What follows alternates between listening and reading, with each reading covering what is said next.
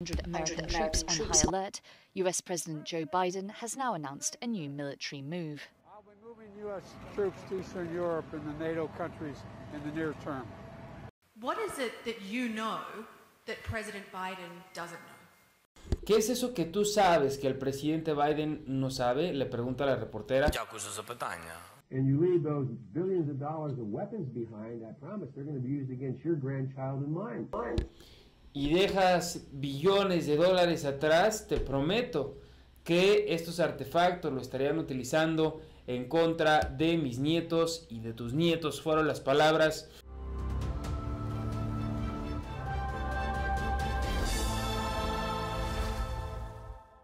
¿Qué tal amigas amigos? Gracias por sus likes, por sus comentarios y por compartir nuestros videos.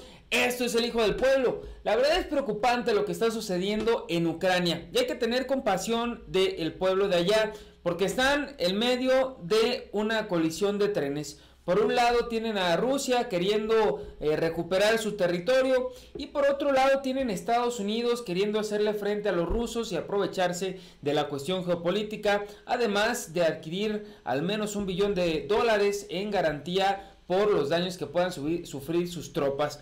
Y es por esto que me decidí hacer un video al respecto de las últimas actualizaciones que ha habido al respecto de este conflicto que en los últimos días ha escalado. Verán, Joe Biden ya anunció que va a enviar tropas a la frontera con Ucrania. Por su parte, otro, un tercer estado, que no voy a mencionar su nombre por el momento, ya está haciendo prácticas con artefactos de alto alcance y les voy a adelantar pues que es un estado que históricamente se ha mostrado en contra de las políticas estadounidenses. No queremos conflicto, pero esto es lo que ha sucedido. El presidente de Estados Unidos, Joe Biden, anunció este viernes que enviará tropas estadounidenses a los países de la OTAN que tienen frontera con Ucrania por temor a una invasión estadounidense.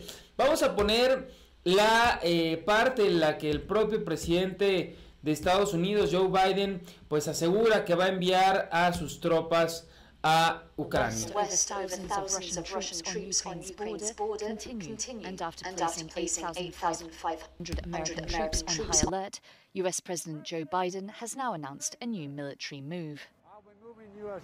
troops to Eastern Europe and the NATO countries in the near term.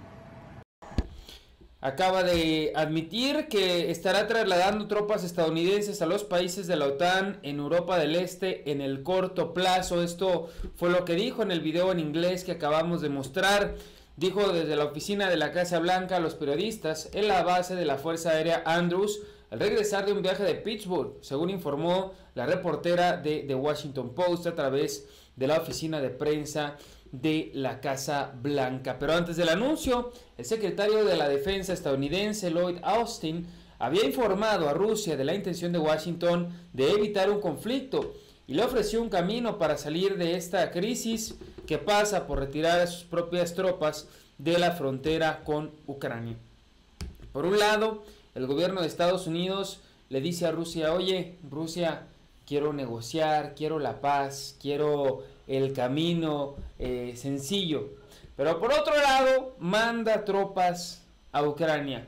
Por otro lado, pone a 8.500 soldados en alerta. Por otro lado, se prepara para una ofensiva en contra de Rusia. Díganme entonces, ¿qué valen más, los hechos o las palabras?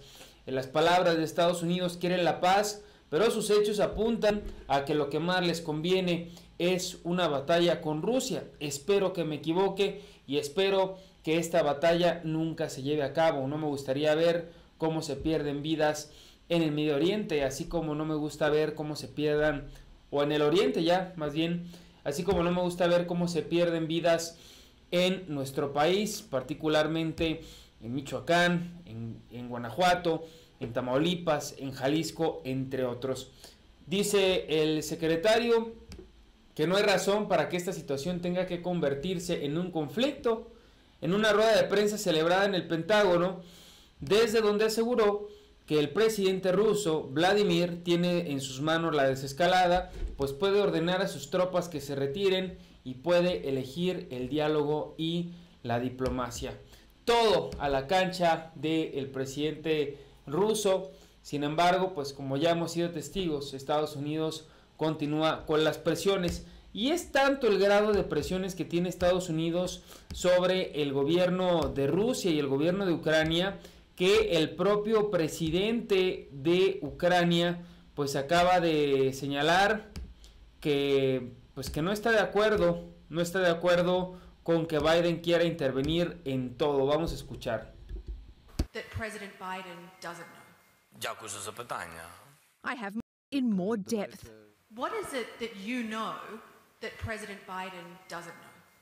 ¿Qué es eso que tú sabes que el presidente Biden no sabe? Le pregunta la reportera.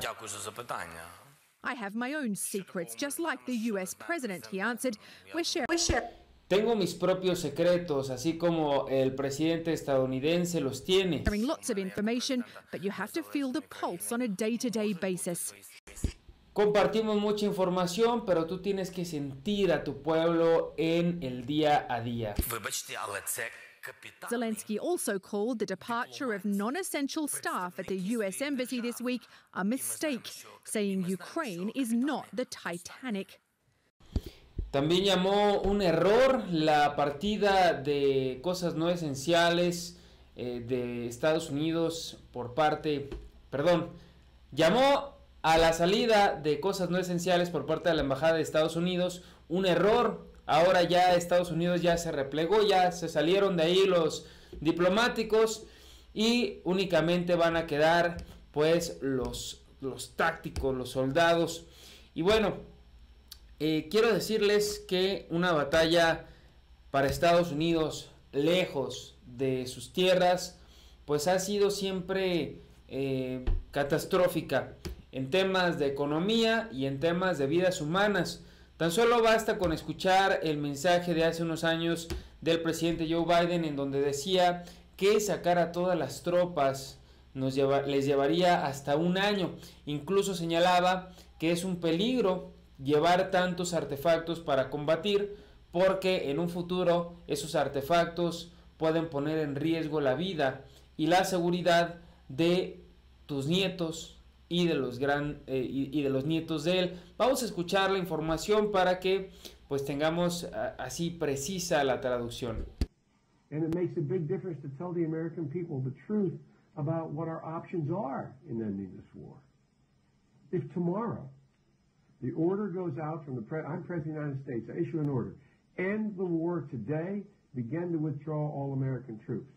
It will take a year to get the American troops out. Si mañana se empiezan a retirar a las tropas estadounidenses, tomaría un año en sacarlos a todos de ahí, es lo que dijo el, el presidente Biden en su momento. You hear me now? That's the truth. It will take a year to get them physically out. Esa es la verdad, tomaría un año sacarlo físicamente de ahí. Now, if you leave all the equipment behind, you might be able to do it in seven months. Ahora, si dejas todo el equipo atrás, probablemente los puedas sacar en siete meses. And you leave those billions of dollars of weapons behind, I promise they're going to be used against your grandchild and mine.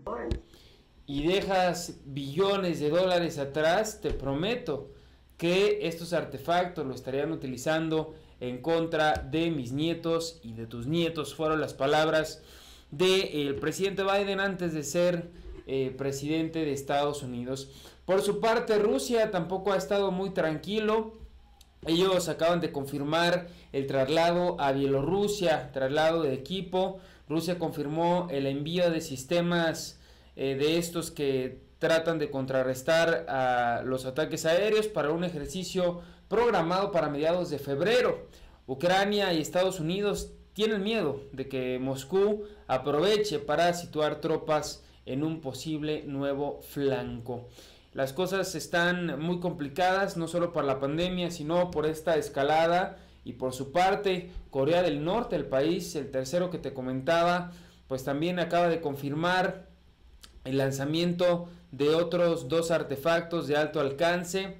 Las autoridades de Corea del Norte confirmaron que esta semana se han llevado a cabo dos ensayos en su intento por actualizar su sistema y poner a prueba sus capacidades. Así que Corea del Norte se prepara, Rusia se prepara, Estados Unidos se prepara, Ucrania se prepara para un conflicto y al final, como diría el Buki, si todos se preparan, ¿a dónde vamos a parar? Amigas, amigos, ojalá, ojalá que se pueda desescalar todo este nivel de inseguridad, todo este nivel de corrupción, todo este nivel de pues deseos del gobierno de Estados Unidos de hacerse rico con las batallas, este interés del gobierno ruso de, de regresar Ucrania a sus filas.